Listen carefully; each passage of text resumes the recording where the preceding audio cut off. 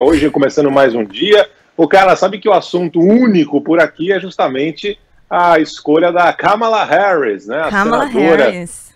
pelo estado de, da Califórnia, que aprendeu a colocar o acento, né? Na Kamala, Kamala, Kamala. Harris, Kamala. E a Kamala Harris está fazendo barulho aqui na imprensa americana. Lembra dela? É, isso, boa, boa.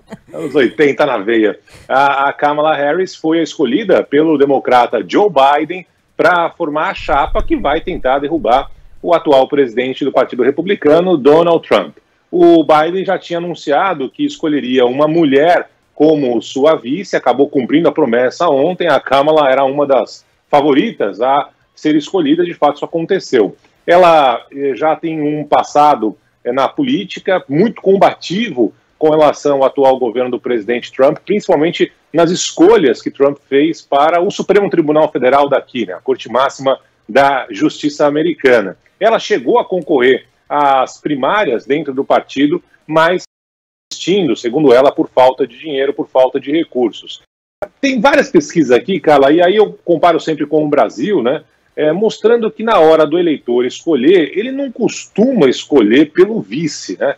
A gente está cansado de saber isso no Brasil. De repente alguém fala, mas quem é o vice? Aí você vai descobrir quem é o vice, você já Uhum. votou no candidato, você nem sabia é, quem que era o vice. Então essa mesma realidade ocorre por aqui.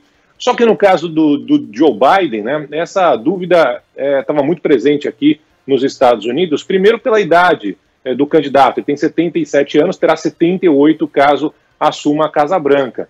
E a chance dele tentar uma reeleição, caso eleito agora no final do ano, é muito pequena. Normalmente essa indicação do vice é algo é, meio como natural aqui nos Estados Unidos. Então, Kamala Harris é a escolhida. Vamos ver se isso vai agregar algum tipo de voto para o Biden, seja o voto dos negros, das mulheres. Né? O Trump está tiririca, está tirando para tudo quanto é lado por aqui. Hoje o Biden lidera as pesquisas e a indicação da vice aparentemente não vai mudar é, esse cenário. Se não vai ganhar, pelo menos não vai perder é, votos, viu, Calinha?